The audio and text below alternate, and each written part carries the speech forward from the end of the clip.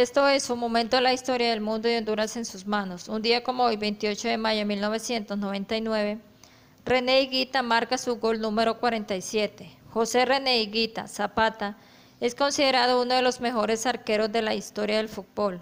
Nacido en Medellín en 1966. Higuita comenzó su carrera en el fútbol profesional en el equipo colombiano Millonarios en el año 1985 su carismática personalidad y su peculiar manera de entender la portería lo convirtieron en un ídolo durante las décadas de los 80 y los 90. Durante el Mundial de Italia 1990, Higuita demostró su impresionante talento de portero jugador, desarrollando arriesgadas jugadas por fuera del área.